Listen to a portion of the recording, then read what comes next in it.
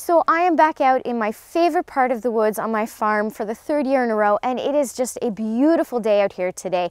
I do feel a little sad that I left the Mamiya RB67 at home, but I have the Intrepid 4x5 Mark V with me instead, and I'm really excited about that. It's a still a new camera to me, uh, so I'm enjoying familiarizing myself with it in already familiar surroundings.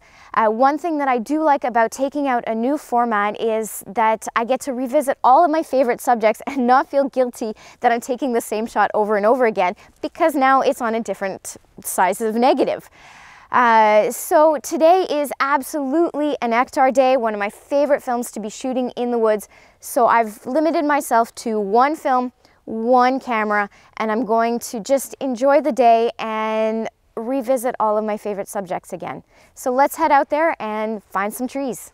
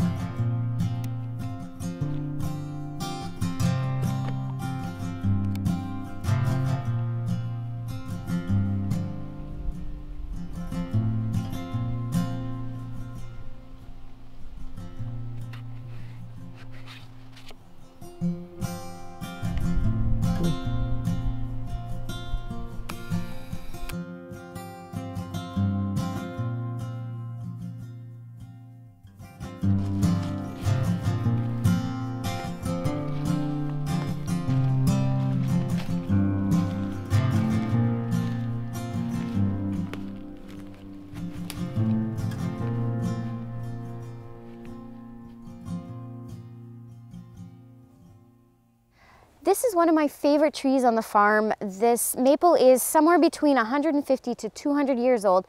And while it has seen better days, it's still standing strong, which is what I love about it. Uh, I find that when I'm walking in the woods, when I come across this tree, it's just a bit of a source of comfort for me when I see it still standing there. So I always like to try to capture an image of it. If you've noticed around me, the colors are more veered towards the yellows and greens. We've had a few fall storms come through and so of course the red leaves are the first ones to fall to the ground. Uh, so while that does mean a bit less of a variation in color, it also does open up the canopy, allowing little pockets of light to come through like you see on the bark at the base of the tree, which is what I really like about shooting in the woods this time of year. One thing about shooting large format is that you only have as many sheets as you can carry with you. Uh, so I'm going to grab this shot and then make the best out of what I have left of my sheets of film. So I haven't actually really tested these film backs out just yet. Uh, so I'm doing my best to shield the film from light by using the dark slide on top. Now I'm set up at f22 half a second so I'm just going to wait for the wind to die down a little bit and get this shot.